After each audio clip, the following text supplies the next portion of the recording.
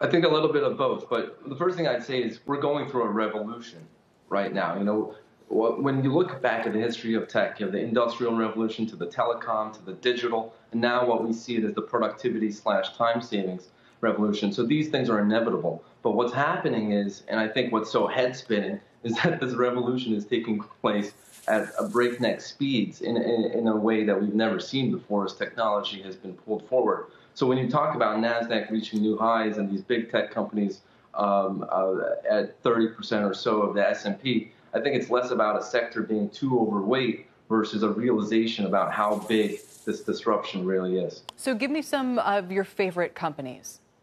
Yeah, so uh, so we think tech is bifurcated into two. You know, first you have the essential infrastructure services. We continue to be long Amazon, Apple, and Facebook, though we did trim shares on uh, Facebook and Apple, uh, but still gung ho on Amazon. And uh, and on the new tech side, the companies that are actually leveraging and providing that productivity benefits, we like Slack, we like Square, and Spotify it's interesting you say productivity and time saving because a lot of people feel like they're wasting their time with all these yeah. different messaging apps and they're sitting yeah. on one Zoom call after another after another. Um, just kind of summarize that if you can, and also give us a sense for you know how much these names might, how much room these names might have to run. I think a tremendous amount of room. I mean, you look, look at these companies. You know, a company like Slack is disrupting the way communication happens from um, uh, the early stages of a company to a later stage. You have a company like Spotify that's completely transforming how you uh, access audio and how you monetize audio. And Square is doing uh, similar things on the data front, on the uh, on the small business front.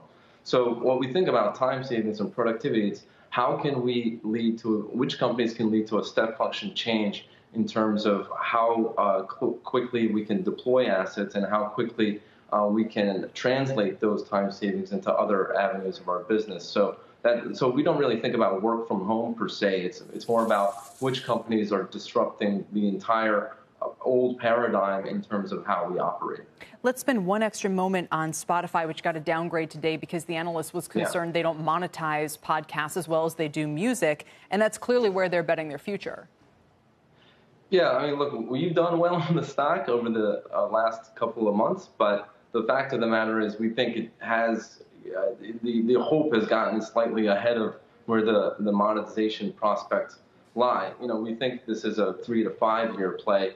Um, a lot of hope and optimism has been built in with the big name deals that they've had. But when you think about how do how do you monetize audio? How do you do it in a in a scale uh, scaled way, in in a way that's really unrivaled uh, within the within the market? We think that there's tremendous opportunity from here. But yeah, I mean, near term, it's not going to be something that's going to be a massive uptick on the next quarter.